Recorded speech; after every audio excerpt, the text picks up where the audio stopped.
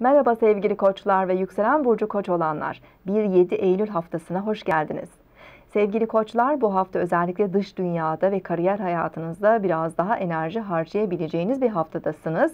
Haftanın hemen başı pazartesi günü e, sizin için oldukça yoğun ve biraz stresli etkiler gündemde olabilir. Çünkü gezegeniniz Mars ayla kavuşacak Akrep Burcu'nda özellikle maddi konularda biraz daha mücadeleler içerisinde olabilirsiniz. Ancak pazartesi günü öğleden sonra etkiler rahatlayacak. E, akşam saatlerinde Ay Yay Burcu'na geçecek e, ve e, 2 Eylül, 3 Eylül Ay Yay Burcu'nda ilerlerken hayata biraz daha iyimser ve pozitif bakabilirsiniz. Özellikle yabancı kültürler, hukuksal konular, eğitimle ilgili kavramlar e, sizin için biraz daha ön planda olabilir. 3 Eylül oldukça hareketli ve verimli bir gün olabilir sizin için.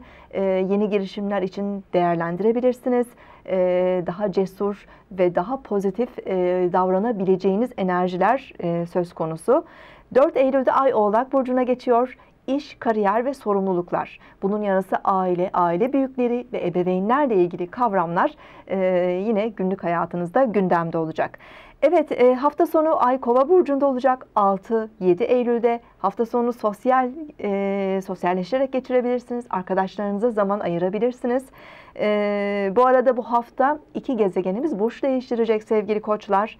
2 Eylül'de Merkür Başak Burcu'ndan ayrılarak Terazi Burcu'na geçiş yapacak ve 28 Eylül'e kadar Terazi Burcu'nda olacak. İşbirlikleri, ortaklıklarla ilgili konularda destek alabilirsiniz. İletişimleriniz artabilir. Eşiniz ve partnerinizle daha rahat iletişim kurabilirsiniz. Eşinizin fikirleri biraz daha ön planda olabilir.